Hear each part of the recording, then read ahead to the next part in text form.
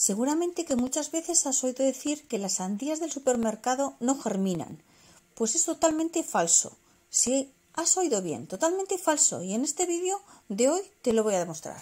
Estás en el canal de Flores y Mariposas. Si todavía no te has suscrito a este canal, hazlo, por favor. Para ti es totalmente gratuito y a mí me ayudas mucho.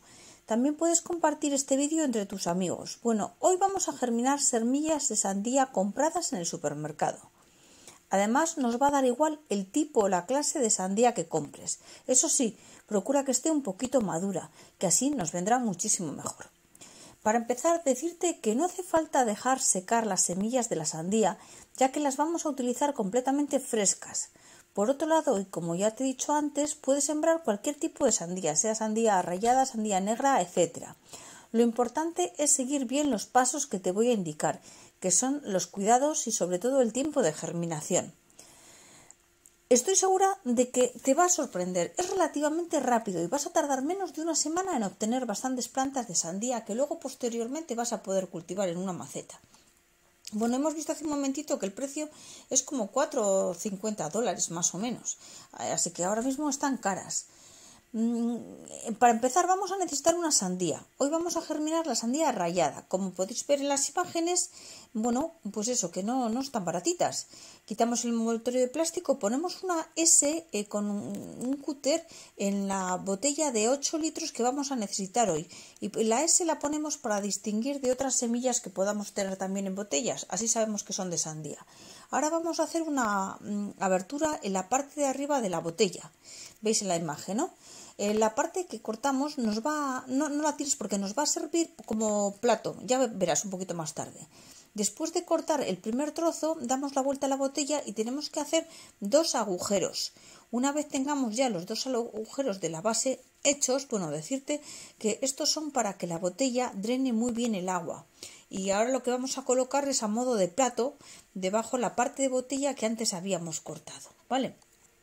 Bueno, Llenamos el semillero de tierra que tengáis vosotros, eh, bueno, o en su defecto con sustrato universal, si no tenéis por ahí tierra. ¿eh? ¿eh? a poder ser que sea rica en, nutrientes para que la germinación sea mejor. Y después de llenarlo con tierra, pues eh, vamos a, a regar bien.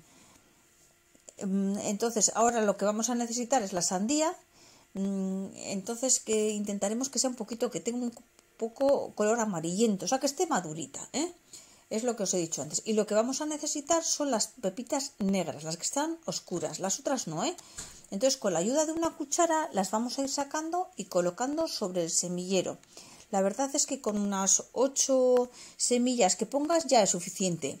Ya veis que no hace falta lavar las semillas, ni dejarlas secar, ni nada. Así que escogerlas directamente de, la sandía y ponerlas ahí en el semillero. Uno de los últimos pasos va a consistir en echarle una capita fina de tierra. Has oído bien, no lo llenes hasta arriba, le echas más, pues no sé, como un dedo o así de tierra. Lo que hace falta es cubrirlas, ¿eh? Mm. Una capa fina, pues lo suficientemente gruesa para cubrir la semilla y con eso ya vale. Ahora vamos a aplastar un poquito con la mano para que la tierra se adhiera bien a la semilla de la sandía y aparte también para quitar posibles bolsas de aire que pueda haber.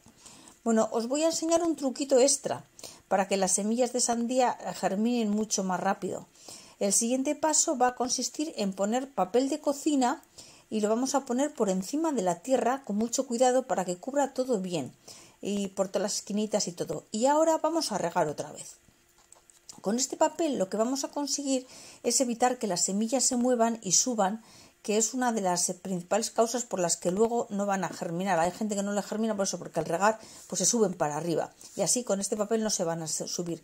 Y aparte el papel de cocina va a ayudar a que la humedad, o sea, que conserve muchísimo mejor la humedad nuestro semillero.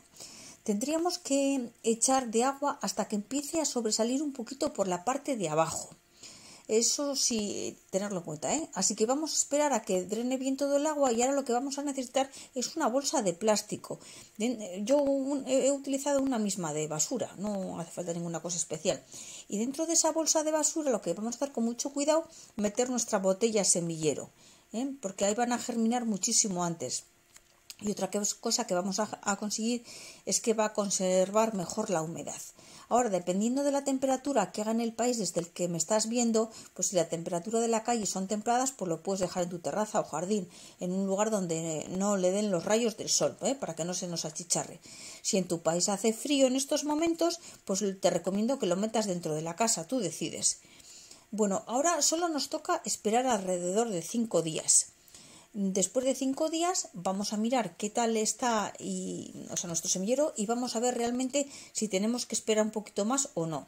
Bueno, pasado este tiempo, seguramente la gran mayoría de las semillas están germinadas. Ya veis ahí, no sé si no, se distingue, la verdad es que están saliendo algunas. Sobre todo bajo tierra ya están todas germinadas. Pero al siguiente paso es que tenemos que quitarle la bolsa ya que necesita recibir el sol. Ahí, veis un poquito. Y si dejamos más tiempo las semillas en la bolsa, lo que puede ocurrir es que las semillas empiecen a espigarse, es decir, empiezan a hacer como una especie de un hilo blanco rizado, porque irán en busca del sol. Y esto no es lo que queremos. Así que vamos a quitar la parte de papel con mucho cuidado. A ver si ahora podéis ver cómo están empezando a germinar. Ya las veis, ¿no? Que, están preciosas. Bueno, esto ya es pasado unas 24 horas después. Y ya han germinado prácticamente todas las semillas de sandía. Fijaros cómo van saliendo los cotiledones. Y una semana después ya están preciosas y muy hermosas, como ya preparadas para, para pasarlas a, a tiesto. Cuando las plantitas ya están crecidas es el momento de colocarles una maceta. Bueno, pues ya veis que sencillo. Bueno amigos, espero que os haya gustado este vídeo de cómo germinar las semillas de supermercado y que no os diga nadie que no es verdad y que lo pongáis en práctica, porque ya veis que es muy sencillo y luego vais a conseguir unas preciosas plantas para poder tener las sandías todo el año. Eh, por favor, darme un me gusta a este vídeo y lo podéis compartir con vuestros amigos, que también me ayuda mucho. Y gracias por quedaros hasta el final y nada, por mi parte, deciros que estoy encantada con mis plantitas de, de sandía. Espero que vosotros también.